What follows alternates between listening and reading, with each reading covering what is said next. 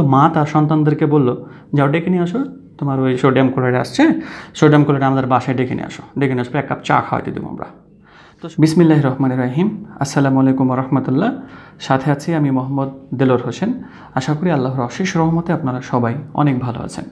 আজকে আমরা আলোচনা করব খুবই গুরুত্বপূর্ণ একটা জিনিস, যেটা পরীক্ষাতে প্রায় সময় হয়ে থাকে। যে আয়নিক যৌগ কীভাবে পানিতে দ্রবীভূত হয় বা আয়নিক যৌগ আসলে কেন বা পানিতে দ্রবীভূত হবে? অ্যান্ড কীভাবে হবে? তো এই জিনিসগুলোকে একদম ভালো করে জানার জন্য আমি অবশ্যই আয়নিক যৌগের মধ্যে একটা লবণ নিয়েছি অ্যান্ড পানিও নিয়েছি অ্যান্ড এখানের মধ্যে আমাকে সাহায্য করবে পানির মধ্যে যে অক্সিজেন অ্যান্ড হাইড্রোজেন রয়েছে।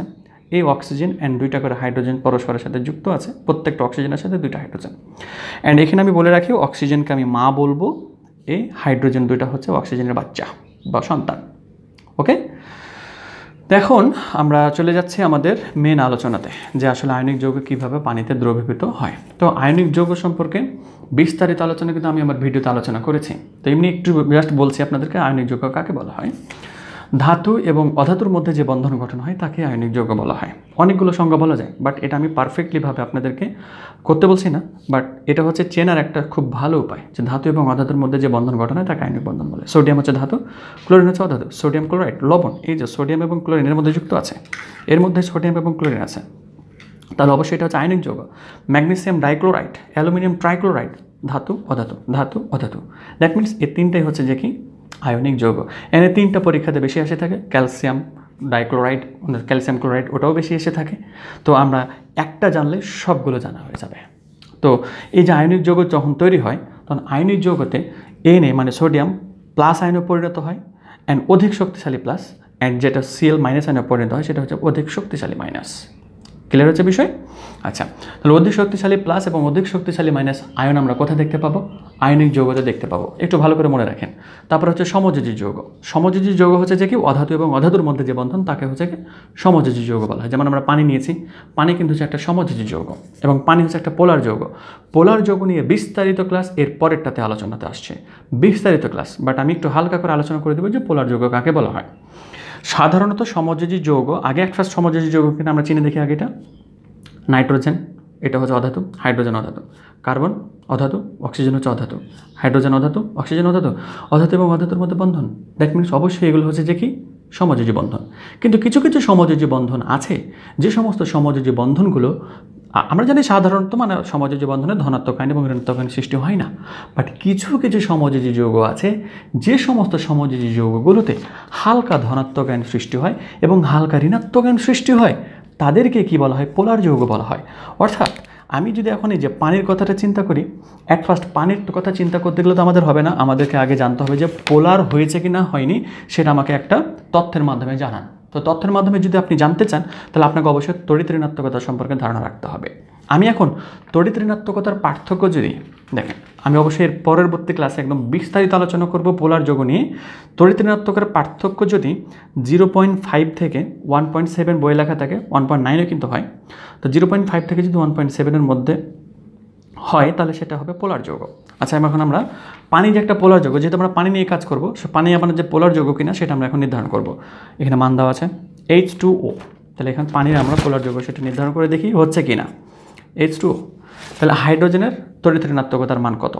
তাহলে এখন দেখি হাইড্রোজেনের ঋণাত্মকতার মান হচ্ছে টু পয়েন্ট ওয়ান আর অক্সিজেনের ঋণাত্মকতার মান হচ্ছে থ্রি পয়েন্ট ফাইভ তাহলে আমরা কাজ করব পার্থক্য কত হবে তাহলে? Three point five three point five minus হচ্ছে যে টু পয়েন্ট ওয়ান আমরা যেটা পাবো সেটা হচ্ছে যে ওয়ান পয়েন্ট ফোর আমরা পেলাম কত? ওয়ান পয়েন্ট ফোর তাহলে ওয়ান পয়েন্ট নাইন পর্যন্ত কিন্তু আমরা বলতে পারব সেটা হচ্ছে পোলার যৌগ।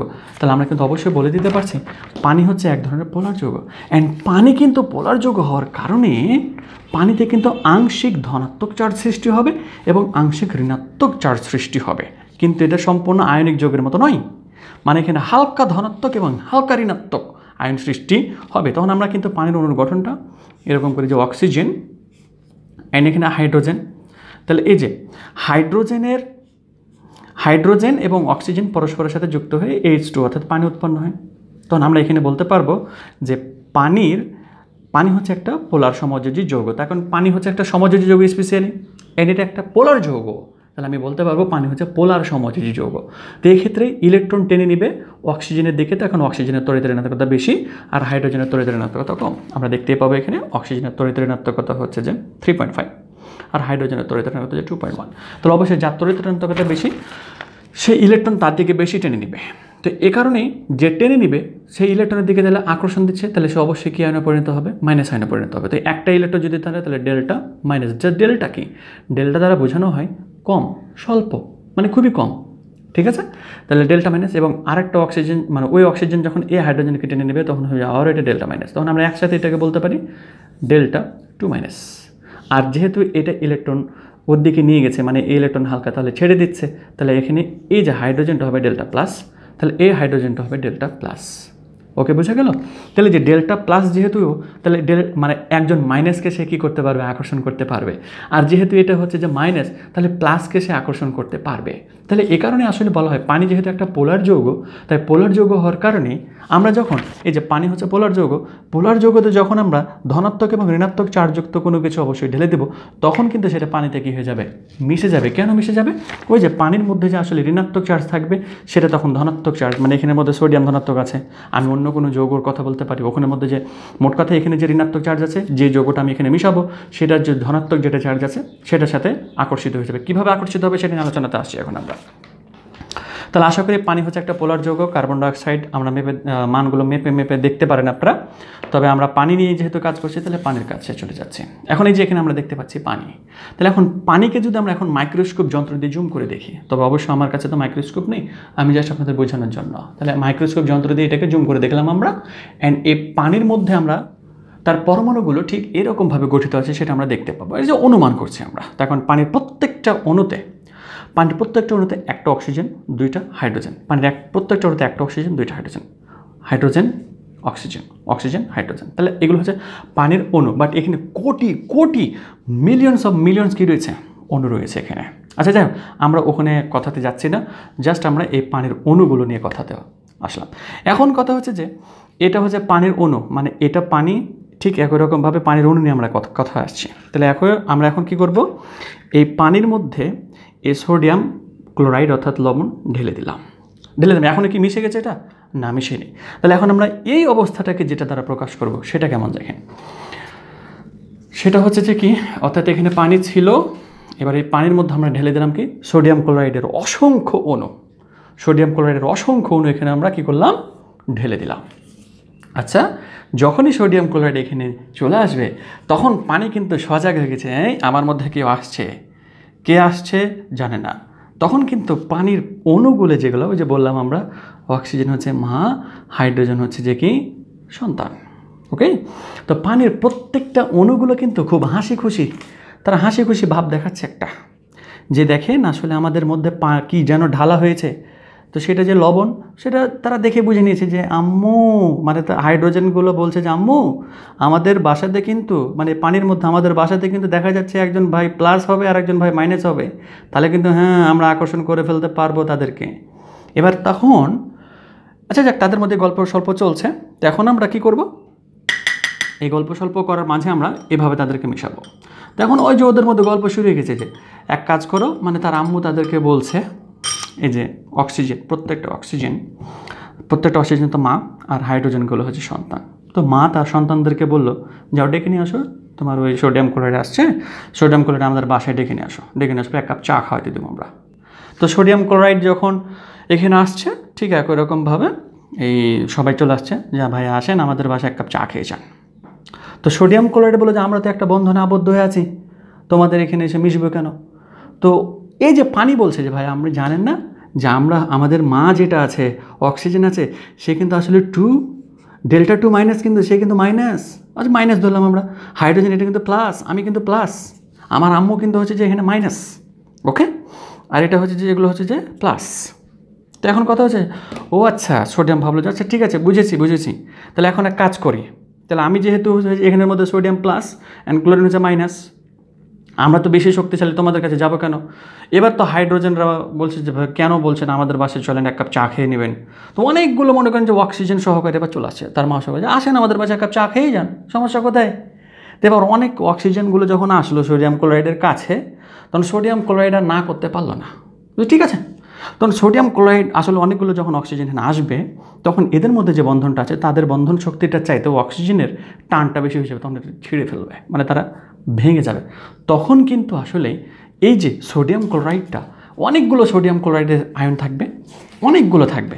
তখন যেটা পরিণত হয়ে যায় সেটা হচ্ছে N A plus and Cl minus. আশা করি বোঝা গেছে?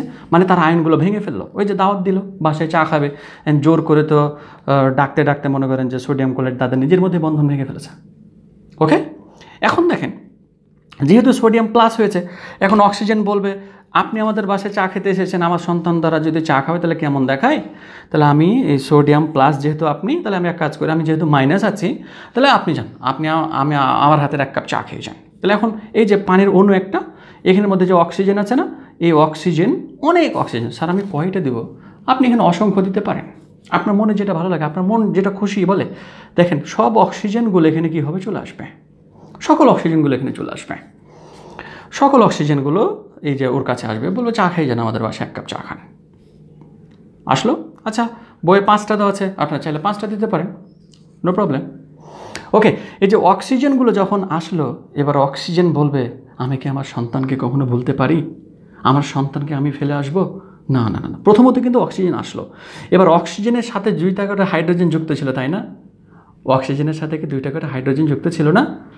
হাইড্রোজেনগুলো কী করবে? আম্মু, তুমি আমাদেরকে ফেলে কোথায় যাচ্ছ? আমি কি তোমার আমি আমরা কি তোমাকে ছেড়ে থাকতে পারব?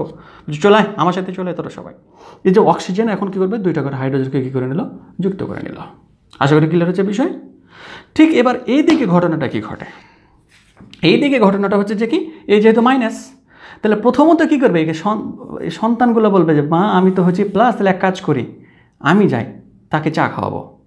এটা কিন্তু এখানে থাকবে বাট আমার কাছে এতগুলো কালেকশন করা নেই, আমি এই কারণে এটা এই দিক দিয়ে বোঝাচ্ছি তো বলবে যে, ঠিক আছে, যাও, দিয়ে আসো, চা দিয়ে আসো। তাহলে যে আমরা দেখছেন হাইড্রোজেনকে আমরা কী করছি? ক্লোরিনের কাছে নিয়ে আসছি। তখন হাইড্রোজেন হচ্ছে প্লাস ওকে আচ্ছা নিলাম, চারটাই নিলাম আমরা। চারটা হাইড্রোজেনকে নিলাম। এবার যখন এই যে একটা একটা করে হাইড্রোজেন আসবে, তখন এই হাইড্রোজেন তো একা পড়ে গেছে।